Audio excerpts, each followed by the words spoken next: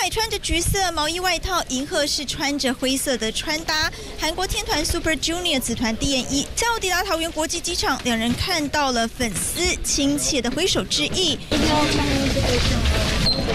有粉丝送上了信件，东海跟银赫也赶紧收下。这一些粉丝都是已经守候多时，知道他们两个人走 VIP 通道，特地在这里等候。银赫跟东海会在九号还有十号两天在林口体育馆举办世界巡回演唱会的台北站，接下来圭贤也要举办个人的演唱会。